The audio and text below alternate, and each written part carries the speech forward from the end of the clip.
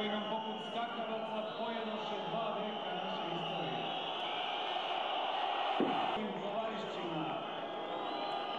Ne učinimo li to danas ili sutra, ceo narod će se naći na duništu istorije, sa kojim nikada neće moći da se uspravi.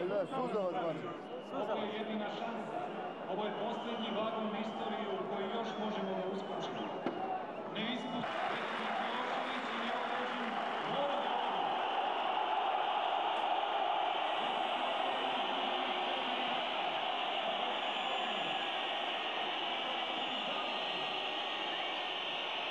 Komunističkih blokova i uvedu je u demokratske, ekonomske i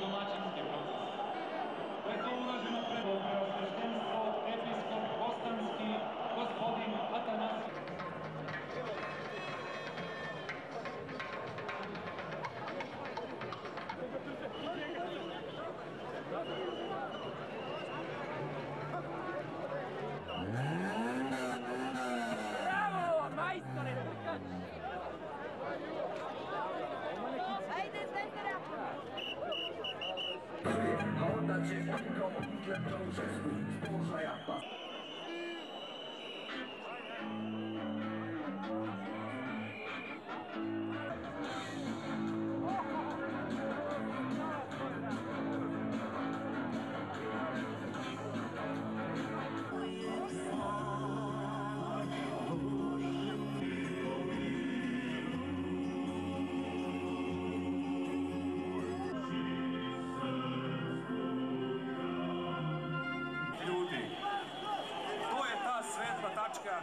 koju veka to bude naše preobraženje, naše svenarodno i državno.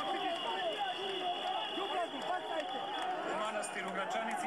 I zajedno sa vama kažemo dosta. Imam domu o preobraženju.